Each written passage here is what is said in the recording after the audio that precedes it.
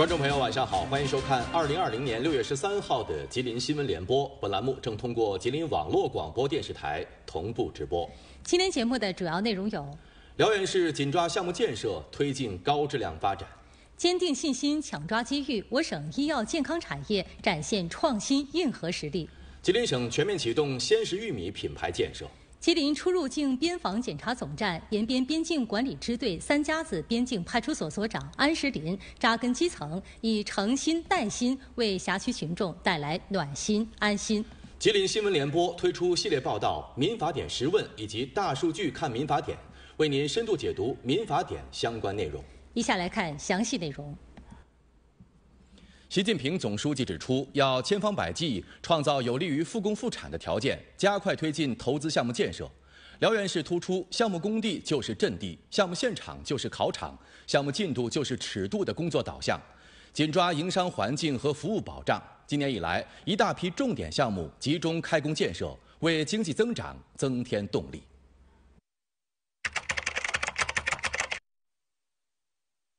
那我现在呢，就是在吉林省正轩车架有限公司的厂区，啊，大家可以看到，在我的左手边呢，是它原有的这个生产区域，也就是生产车间。大家随着我的镜头往这边看啊，在我的现在的正背后呢，是它的年产三百万套的汽车轻量化总成新项目的施工现场。那么在施工现场，我们也看到啊，场地的平整工作目前已经基本上都结束了，现在正在进行的就是建筑的基础施工，啊。我们在施工现场呢，也看到了一个特别有意思的事儿，给大家看一下。我们可以随着我的镜头可以看到，它原有的这个生产车间的底部现在已经被挖开了一道沟，工人师傅们啊，现在正在进行的是一个对原有生产车间的基础的加固。为什么要加固呢？因为啊，新项目建成以后，两个生产区域是要进行一个无缝的衔接和对接，那么将来这两个车间。将会有一条专用的物流通道连接。原有的这个生产区域大概是多少平占占占地面积？原有是一万四千平。哎呦，那跟新建的跟原有的还真是没差多少啊，等于再建了一个这个全新的差不多大的这么一个生产区域，是吧？对对对，完全是相当于是这个新增了一个类似于像新增了一个这个工厂差不多啊，新工厂啊，新工厂。对对对，二期工厂。对对对对。然后呢，这个但是呢，这个在。新的工厂里面，我们规划了这个大量的这种智能化制造和自动化制造。这样呢，虽然说占地面积你看是和原来差不多，差不多，但是呢，整个产能相当于是翻了三番。吉林省正轩车架有限公司呢，成立于二零一三年，主要经营汽车冷热冲压件及总成的研发、生产和销售。别看是一家年轻的企业，可他们的生意伙伴可都是大有来头。一汽、奥迪、大众、宝马、奔驰、捷豹、路虎。都是他们的合作客户。这次新项目上马，企业的产量有望翻上三番，年销售收入呢能达到两亿四千万元。同时呢，产品的种类从单一的零部件变成了总成输出，进一步提高了市场的竞争力。七月底呢，我们那个整个生产项目的主体架构就将完成。八月份，我们的设备将进入安调，十月份就可以完成打产。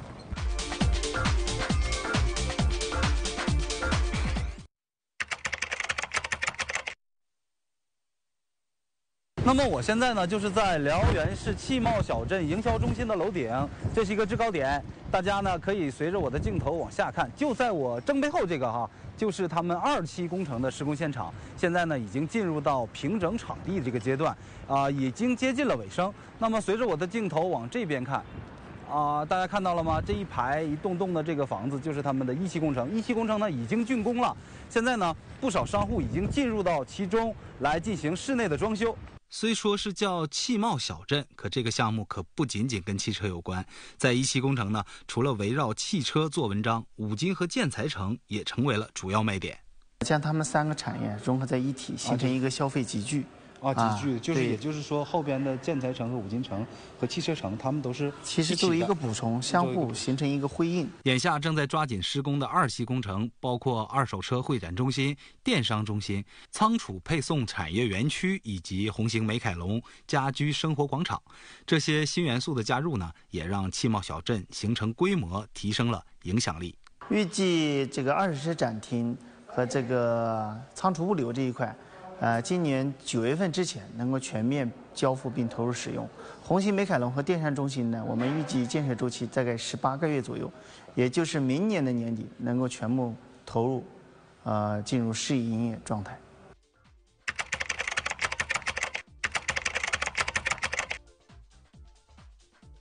五十一个三岛项目已于四月十五日前全部开复工，呃，五至六月份还有七十二个项目计划开复工。六月十一号，省委副书记、省长景俊海在长春会见中国交通建设集团总经理宋海良一行，并共同见证省政府与中交集团签署战略合作框架协议。景俊海希望双方落实战略合作框架协议，聚焦“两新一重”和“一主六双”产业空间布局，共同推进滨海二号国际交通走廊、东北边境风景道、长春都市圈大环线、吉林航空产业园等重大合作项目建设，助力吉林建成高质量交通强省。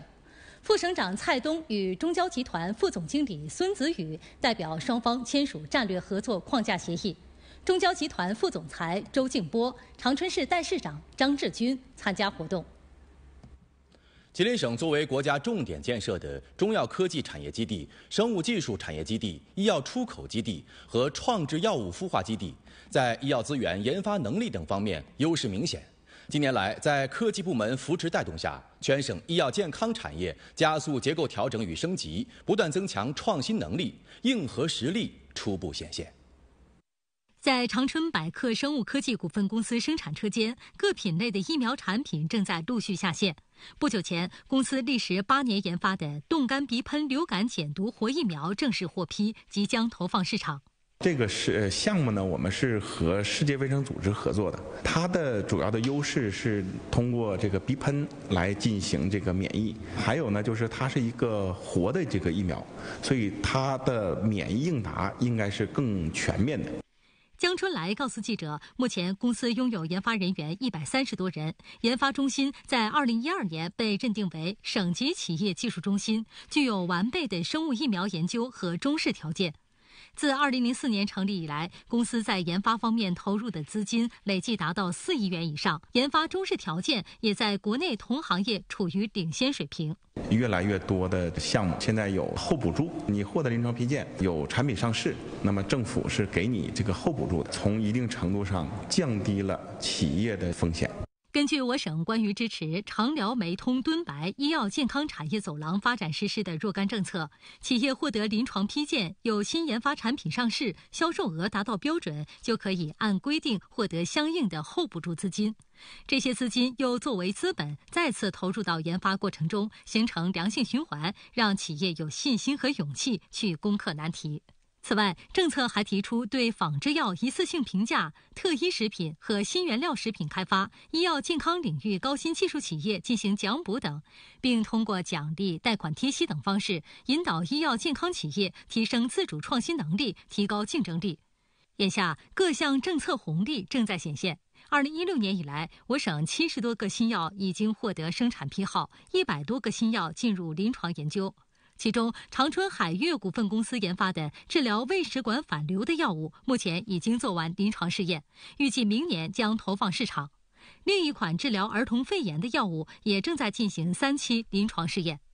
两个药物我们都拿到了几百万的这个后补助的资金，另外呢，我们也获得这个。重大专项的支持。那么在这方面呢，我们每年呢都能从科技厅申请到一些科技系的这个补助项目，一些科技项目，科技厅会给我们制造一些和学术界互相接触、互相交流的这么样的机会。光是去年和今年，嗯，获得奖励和补助的企业就有近四十户，支持金额达到近四千万元。此外呢，我们还加大了科技投入力度，呃，争取国家经费和省级经费近四亿元，在药物研发。成果转化、大品种二次开发给予重点的支持。企业研发带动全省医药健康产业转型升级。目前，我省已形成了以通化国家医药高新区和长春国家生物产业基地一区一基地为双核心，以辽源、梅河口、白山和敦化四个医药高新技术特色产业基地为多点集聚的发展格局。下一步呢，我们将抓好医药健康产业的顶层设计，围绕产业转型与升级、仿制药一次性评价等关键环节，加快科技创新平台建设，把我省医药健康产业做强做大。近日，省政府办公厅印发《关于加强鲜食玉米品牌建设、加快鲜食玉米产业发展的实施意见》，标志着继吉林大米品牌之后，吉林省全面启动鲜食玉米品牌建设。实施意见以品牌打造为引领，以保障措施为支撑，突出鲜食玉米生产体系、产业体系、经营体系三大体系建设。通过聚焦和推动吉林鲜食玉米品牌建设和产业发展的主要方面和重点问题，实现全省鲜食玉米品牌化，提高标准化和产业化水平。鲜食玉米这个政策出台也是我们盼望已久了，呃，尤其它这个这个政策集中于是建立鲜食玉米的品牌和和和那个发展整个鲜食玉米产业。我们呢，呃，能够紧跟这个政策啊，把我们的整个的品牌推广出去，把整个行业呢，然后能带动起来。鲜食玉米有千亿级规模的市场空间，产业发展潜力较大。意见实施有利于吉林省将鲜食玉米的资源优势转化为产业优势，进而转化为效益优势。对于深化我省农业供给侧结构性改革，促进农业增效、农民增收和农村繁荣，实现粮食产业经济高质量发展，具有重要意义。在全国角度来讲呢，就是咱们自然条件来讲，可以说排排在首位吧。如果咱们政策得当啊，政府这块扶持力度加大，利用咱们现有的这个自然条件，这块做起来以后，可能在全国来讲要排在前前边的。根据实施意见制定的目标任务，我省力争在三至五年内显著提高全省鲜食玉米品牌化、标准化和产业化水平，让吉林鲜食玉米成为全国极具影响力的地域品牌。同时，打造优质鲜食玉米生产企业超过一百家，形成五十个优质吉林鲜食玉米品牌，开拓出吉林鲜食玉米区域公用品牌、企业品牌、产品品牌三位一体的发展矩阵。建设全国性的鲜食玉米品种试种示范基地，呃，那精准筛选出适合我省种植的优良品种，呃，并且体现呢品种的多元化。培育遴选出一批吉林鲜食玉米名牌产品和优质品牌，提高我们省鲜食玉米的市场竞争力。今年三十八岁的安石林是吉林出入境边防检查总站延边边境管理支队三家子边境派出所所长。他十五年如一日扎根基层，以诚心、耐心、贴心服务换取辖区群众的暖心、舒心、安心。珲春市三家子满族乡辖区面积大，又处于山区，交通不便。特别是沙坨子、西崴子、古城等村屯，距离乡政府所在的中心村较远，一来一往就需要二三十公里。就连快递公司也经常受条件所限，不能把快件直接发到村民手中。安石林了解情况后，在组织民警下基层走访、入户调查的时候，帮助村民收送快递，顺路捎送其他物品，从没嫌过麻烦。村民们都亲切地称呼他们为“爱民速递员”。就西崴子给驱车十五公里，就叫单趟来一次，这比较不方便。派出所呢，往那下带呢，他就省了这段时间。给村民提供方便是安世林和派出所每一个民警的初衷。今年春天，在东岗子村走访时，安世林了解到，村里的空巢老人关金林和老伴儿都有听力障碍，靠低保金生活，住房急需改善。安石林和所里的民警想方设法帮关金林修缮房屋，改善居住条件。一瞅着，哎呀，挺好，挺好，挺好。这不是我说，他们大伙来看看，都说挺好啊。这咱们三家的乡啊，派出所民警真的为人民服务到家了，是不是？为老百姓服务到家了。现在这个老人住进去了，这个条件改善了以后，呃，生活是比以前好多了。就是我们能做一些我们力所能及的事儿吧，就是从我们的本心来讲，我们也应该做的。想群众所想，急群众所急。多年来，安石林爱岗敬业，始终如一地践行着初心和使命，得到辖区群众的认可和信任。安石林也获得全国民族团结进步模范个人、全国优秀人民警察等荣誉称号。日前，省委政法委印发了《全省政法机关为打好三大攻坚战提供法治保障三个指导意见》，这是深入贯彻落实习近平总书记关于打好三大攻坚战系列重要论述的务实举措。省法院第一时间跟进部署，要求全省法院围绕中心、服务大局，努力为打好三大攻坚战提供有力司法服务和保障。全省法院将紧紧围绕落实三个指导意见要求，严厉打击涉贫刑事犯罪和涉环境资源犯罪，切实保障人民群众环境权益和环境公共利益，妥善审理涉民生案件，精准对接脱贫工作司法需求，加强涉民生案件审判，加大农民工追索劳动报酬等案件执行力度，依法妥善处置经济结构和能源政策调整引发的企业改制、整合、破产等案件。充分发挥财产保全和先予执行在环境资源案件中的预防和减损作用，支持和保障节能环保产业、清洁生产产业、清洁能源产业发展。同时，全省法院还将充分运用司法大数据研究报告、司法建议等方式，延伸审判职能，促进提高社会治理社会化、法治化、智能化、专业化水平。五月二十八号，十三届全国人大三次会议表决通过《中华人民共和国民法典》，自二零二一年一月一号起施行。这是中华人民共和国第一部以法典命名的法律，一经问世便备受瞩目。从今天起，吉林新闻联播推出系列报道《民法典十问》，为您深度解读。今天播出第一集《民法典为什么很重要》。民法典姓民，所涉及的领域贯穿每位公民的一生。在各大官方微博，记者看到关于离婚冷静期、居住权、高空抛物、禁止高利贷的话题，大家议得热火朝天。网友灵犀一指说：“我就喜欢划重点的文章，那么多过万字的民法典，我一个普通老百姓去通读完，你们觉得可信吗？”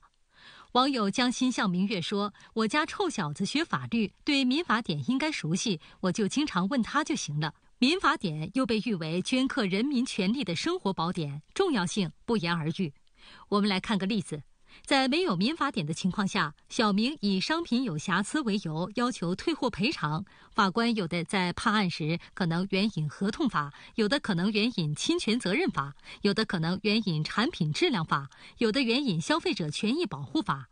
从数量庞大的单行法中去寻找裁判依据是非常困难的，找到的法律规定有可能相互矛盾。全国律师协会副会长迟日大认为，民法典不是简单的几合一，而是把九部法律合到一起集大成，内容之大称得上超赞。它从法律的效力和威阶上是属于全国人民代表大会所制定的一部根本性法律。它在整个法律体系的效力上，我认为仅次于宪法根本法的效力。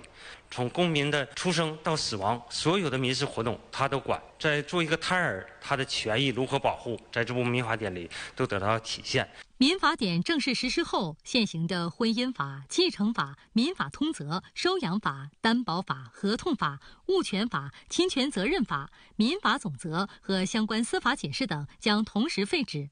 民法典有着远超刑法、行政法、诉讼法的基石性地位。